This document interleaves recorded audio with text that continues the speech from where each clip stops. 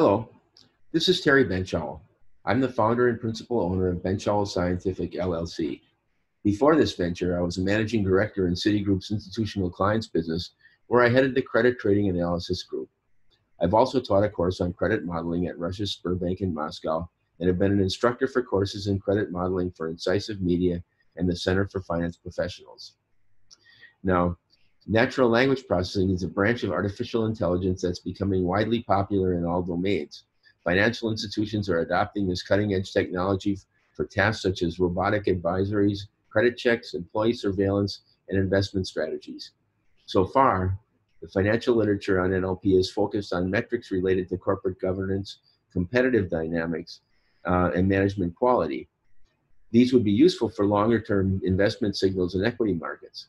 Although sentiment data has been used to predict moves in foreign exchange rates and equity markets, there's been little work done using NLP to predict movements in the credit markets.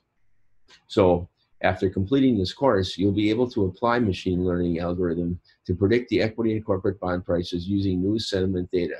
You'll learn proper word, prop, popular word embedding methods and fed the output of it to machine learning algorithms. The approaches using the latest advances in NLP are better suited to predict future returns in equities and credit markets. All these approaches are explained in detail in the course.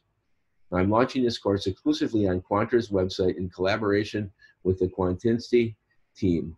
This is a self-paced course that offers a mixture of videos, reading documents, multiple choice questions, and lots of interactive coding exercises. The course provides an in-depth understanding of natural language processing and trading. Though the course is in Python, the concepts can be readily applied to any programming language. This course is useful for anyone interested in real-world sentiment analysis using cutting-edge technology and gain a comprehensive understanding of application of sentiment analysis and trading. I hope you enjoy learning and good luck.